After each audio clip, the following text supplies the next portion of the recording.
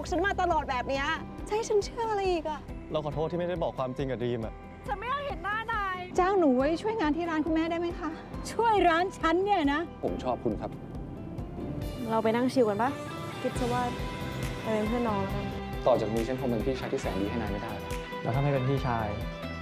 จริงๆจะเป็นอะไรครับ คู่แข่ง